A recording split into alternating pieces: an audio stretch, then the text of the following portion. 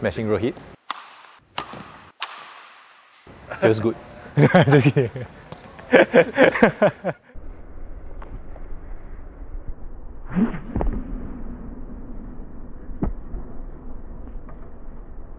In early July at ITE College Central, teams from the Straits Times and Singapore Polytechnic gather for a special project to capture the lethal smash technique of 2021 World Badminton Champion Loh Kean Yew. To do this requires 3D motion capture technology.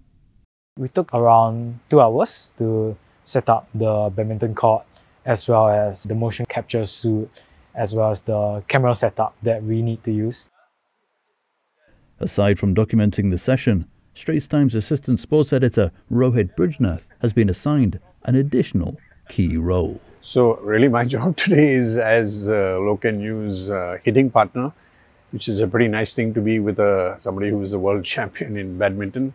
And so basically what we're trying to do is look at it from every angle, look at the height that he gets, the arch of his back, the rotation of his shoulder, just trying to break down the smash because he is especially when he's smashing well, one of the world's best smashers, even though, of course, he will tell you that, you know, there are people much better than him because he's a lovely, modest guy.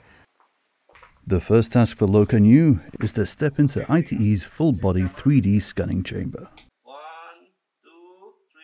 We first did a 3D scan of him to create a 3D model of his body.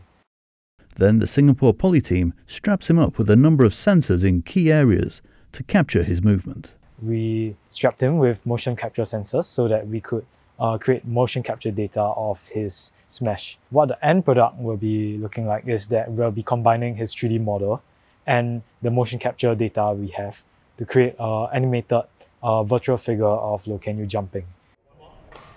Of course, not everything is about science.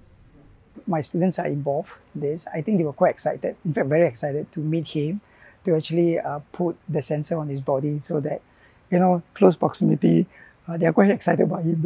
I also play badminton, so uh, I think I saw his matches.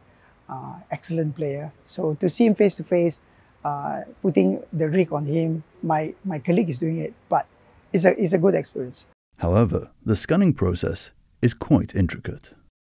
What motion capture does is to translate the movements of your body into a skeleton. And that skeleton is connected to a 3D model which will move according to the skeleton. It could be about an hour, the whole process, uh, just capturing uh, the whole movement. In the post-production, uh, that will take a bit longer. Motion capture is never 100% accurate. It's about 80% or so. So what happens in the post-production is they will tweak it to make it as smooth as possible. Capturing Loh Kean Yew in action this way will help analyze exactly what gives his smashes such power. Kean Yew has hit shuttlecocks at over 400 kilometers an hour. Yet it's not the first time that Loh Kean Yew has had the scanning treatment. I think I did it in 2021. Yeah, before Olympics that time, if I'm not wrong.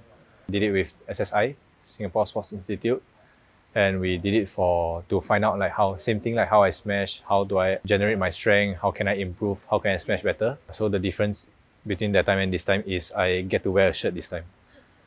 yeah. Doing a smash, we want to kill off the opponent. We want to gain point from it. So we would like to be in a good position. We want to be behind the shuttle so that we can move forward while we hit. We can do a stronger smash like that. Yeah, rather than uh, out of position kind of smash. Why we do double leg? Because we get, generate more strength from the leg, and then from the leg up to the body, and then we back, kill, smash down. To kill your opponent with a smash, to gain a point from that, I think it's pretty satisfying. Yeah, la, it just feels good la, and also quite cool, I think. You can see how everything comes together in ST's interactive analysis at straitstimes.com.